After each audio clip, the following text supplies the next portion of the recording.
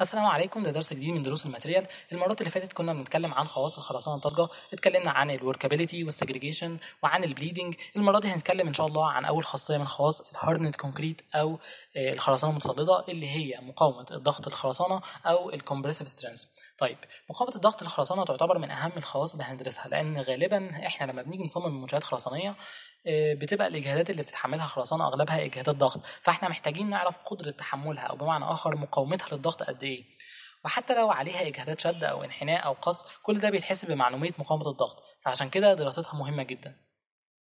بالطبع ما فيش علاقة رياضية ثابتة بين مثلا مقاومة الشد ومقاومة الضغط ولكن بيتم استنتاج مقاومة الشد من مقاومة الضغط بواسطة طرق تق- تقريبية يعني مثلا أغلب الكتب بتقول إن مقاومة الشد بتبقى تقريبا حوالي 10% من مقاومة الضغط.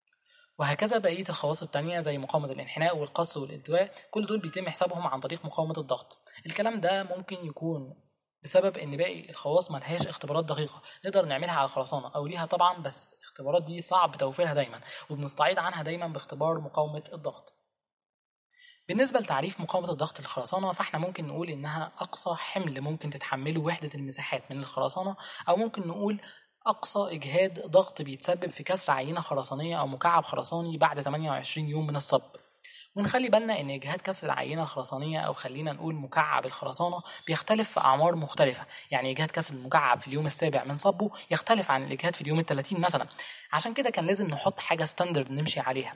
وتكون بتعبر عن المقاومة الفعلية اللي هتثبت مع الوقت بدون زيادة أو تقليل. والعمر العلماء أو العمر اللي العلماء اتفقوا عليه إن المقاومة فيه بتبقى أقرب قيمة للمقاومة الفعلية الدائمة للخرسانة هو عند عمر 28 يوم. يعني لما تسمع واحد بيقول مقاومة الخرسانة دي 250 كيلو جرام للسنتيمتر المربع معناها الإجهاد اللي احتاجناه لكسر مكعبات أو عينات الخرسانة المختبرة. في اليوم ال 28 بعد الصب هو 250 كيلو جرام للسنتيمتر المربع.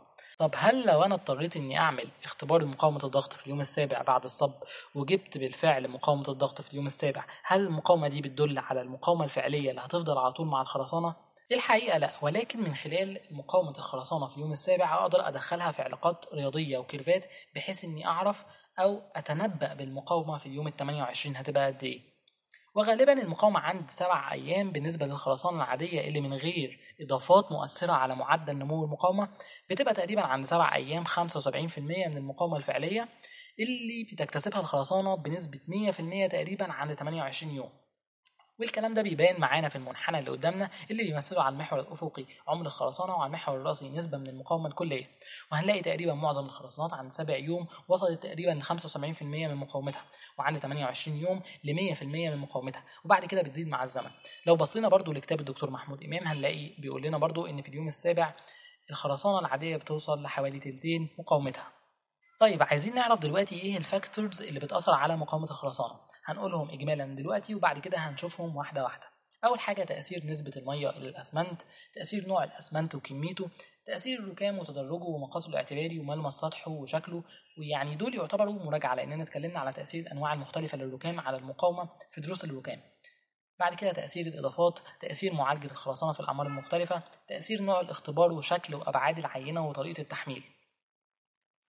طيب بالنسبة لأول تأثير اللي هو تأثير نسبة المية للاسمنت على المقاومة كنا قبل كده في درس ال workability اتكلمنا على العلاقة بين نسبة المية للاسمنت وبين ال workability وبين المقاومة وكنا قلنا إن نسبة المية للاسمنت لما بتزيد بتدينا قابلية للتشغيل عالية ومقاومة قليلة ولما بتقل بتدينا قابلية للتشغيل قليلة ومقاومة عالية.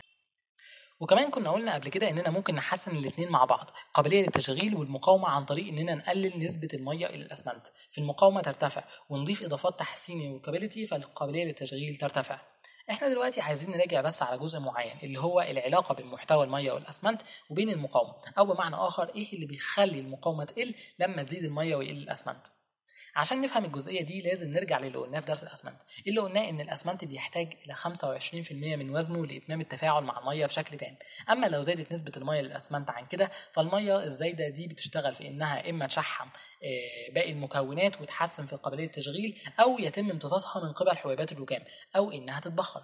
والمشكلة الكبيرة إن لما جزء كبير من المية بيتبخر بيسيب مكانه فويدز أو فراغات الفراغات دياتي بتعمل على إضعاف الخرسانة وتقليل المقاومة. ففي علاقة عكسية بين الفراغات وبين المقاومة. ايا ما كانت دي الفراغات دي ناتجة عن فقاعات هوائية دخلت أثناء الخلط أو ناتجة عن مية متبخرة ففي كلا الحالتين المقاومة هتقل بسببها. طيب عايزين نتعمق أكتر ونفهم إزاي الفراغات دي بتؤدي إلى تقليل المقاومة.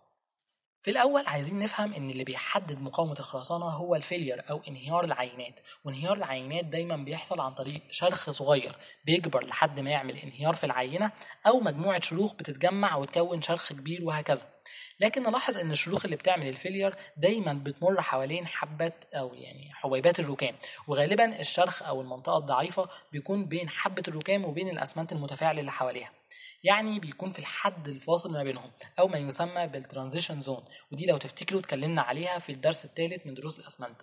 المهم يعني إن المية لما بتكون زيادة عن الحد الطبيعي بتاعها بتبتدي تتجمع في الحد الفاصل بين حبيبات الركام وبين الأسمنت المتفاعل. ولو الأسمنت كان خد احتياجاته من المية المطلوبة للتفاعل وحبيبات الركام ما امتصتهاش هتفضل زي ما هي وهتتبخر وهتسيب فجوات حوالين حبة الركام والشرخ بيحب يمشي في المنطقة الضعيفة اللي فيها فجوات وبالتالي بتبتدي تظهر الشروخ أكتر وتنهار الخرسانة أسرع وبالتالي تقل المقاومة الكلية بتاعتها أسرع. وبكده يبقى أثبتنا إن زيادة المية وقلة الأسمنت بيساعدوا في تقليل المقاومة. طيب لو حصل العكس المية قلت والأسمنت زاد الأسمنت هياخد كل احتياجاته من المية للتفاعل ومش هتتبقى مية عشان تساعد في تشحيم الخلطة فبالتالي قابليه التشغيل هتقل. ولكن نبص للجانب الإيجابي المية اللي هتتبخر قليلة بالتالي الفراغات قليلة بالتالي الشروخ هتلاقي صعوبة وهتلاقي مقاومة كبيرة. بالتالي المقاومة الكلية للخرسانة هتتحسن جدا. بالنسبة لتأثير الأسمنت فهو بيأثر بثلاث نواحي مختلفة كميته وتركيبه أو نوعه ومدى نعومته. بالنسبة للكمية فاحنا عرفنا خلاص إنه بزيادة كمية الأسمنت بتزيد المقاومة. أما بالنسبة للنعومة فطبعا كل ما كانت الحبيبات أصغر حجما كل ما كانت مساحتها السطحية المعرضة للتفاعل زادت كل ما المقاومة زادت وده منحنى بيبين لنا تأثير زيادة نعومة الأسمنت على المقاومة.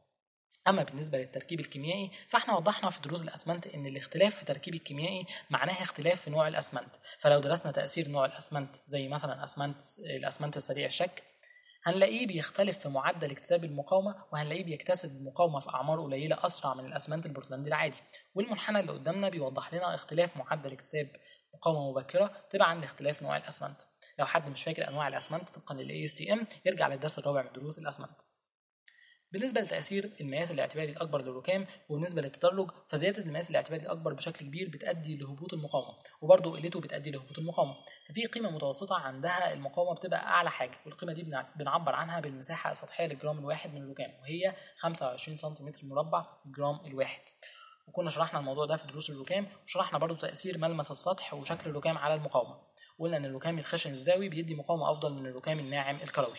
بالنسبة للإضافات أو ال admixtures وتأثيرها على مقاومة الخرسانة ففي إضافات بتعمل على تحسين المقاومة زي ال fly ash وال silica fume وبعض الأنواع التانية وبرضه في إضافات ليها أهداف تانية غير تحسين المقاومة ولكن بتأثر على المقاومة بالسلب زي مثلا إضافات الهواء المحبوس. وإن شاء الله في chapter الإضافات هنتناول أغلب الأنواع وندرس تأثيراتها المختلفة على خواص الخرسانة. آخر عامل من العوامل اللي بتأثر على المقاومة اللي هنتكلم عليها النهاردة هو معالجة الخرسانة. طول ما في جزيئات أسمنت لسه ما اتفعلتش وفي رطوبة كافية في الخرسانة للتفاعل طول ما التفاعل شغال وطول ما المقاومة بتزداد. اللي ممكن يوقف التفاعل إن المية ممكن تتبخر والرطوبة تقل. فيفضل بعد صب الخرسانة الحفاظ على الرطوبة بتاعتها عشان التفاعل يكمل حتى لو هيتم رشها بالماء على فترات متقاربة وده اللي بيطلق عليه معالجة الخرسانة. المنحنى اللي قدامنا بيورينا أهمية المعالجة في اكتساب المقاومة. المنحنى بيبين مقاومة خلطة خرسانية ثابتة في أربع حالات. حالة أول حالة إنه ما حصلهاش معالجة خالص وحالة إنه حصل لها معالجة لمدة سبع أيام وحالة 28 يوم وحالة المعالجة مستمرة على طول. نخلي بالنا إن المعالجة مش عامل ممكن يزود المقاومة بنسب صغيرة زي نوع الأسمنت وخواص الركام لا ده في حالة المعالجة لمدة 28 يوم المقاومة زادت بنسبة تقريبا حوالي 30% يعني المقاومة بدل ما كانت 30 ميجا باسكال بقت 40 ودي حاجة تدل على الأهمية القصوى اللي لازم نديها لموضوع معالجة الخرسانه بعد الصب كده ما فضلناش غير تأثير واحد بس وهو تأثير شكل وأبعاد عينة الاختبار وطريقة التحميل. وده نخليه الدرس الجاي إن شاء الله. ال task بتاع النهارده سهل وبسيط جدا. وهو إنك ت search على اليوتيوب عن فيديوهات لاختبار مقاومة الضغط أو ال compressive strength test. أشوفكم الدرس الجاي إن شاء الله وشكرا.